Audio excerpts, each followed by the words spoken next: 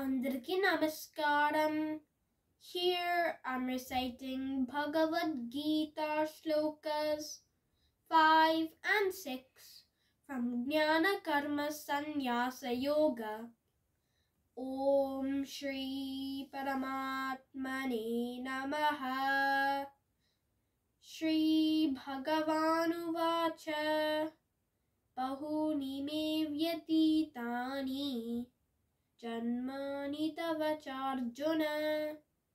तान्यहं वेद सर्वाणि, न त्वं वेद परन्तप। अजोऽपि सन्नव्ययात्मा, भूतानामीश्वरोऽपि सन्।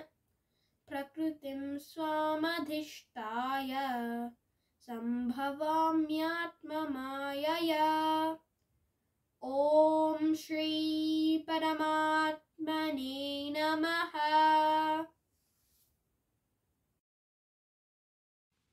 This is the translation for the shlokas 5 and 6. The Supreme Lord said, Both you and I have had many births. O Arjun, you have forgotten them all while I remember them all. Oh, o Parantapa!